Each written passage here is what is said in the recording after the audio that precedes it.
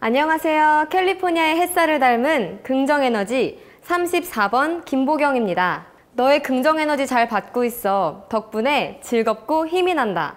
제가 주변 분들께 자주 듣는 말인데요. 이제는 아나운서로 시청자 여러분께 힘이 되고 싶습니다.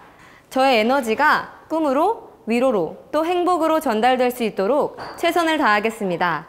감사합니다. 아, 긍정에너지 드릴게요. 아, 사랑니 뽑은 김보경 뽑아주세요.